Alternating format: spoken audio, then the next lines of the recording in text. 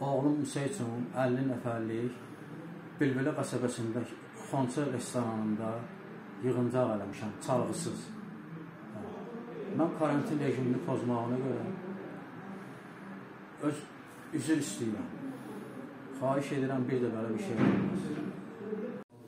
Mən Həsənli Rahib Xonça restoranının Bülbülə qəsəbəsində yerləşən Xonça restoranında işlədirəm. Hardasa 5 gün bundan əvvəl bizə bir baba adlı şəxs yaxınlaşaraq oğlu üçün məclis təşkil etməyini istədi.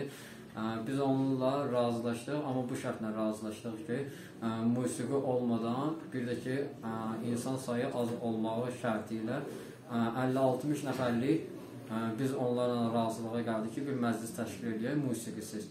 Və bu qanunsuz olduğuna görə, karantin qaydalarını pozduğumuza görə, yəni karantin qaydalarımızı pozduğumuzu etiraf edirəm.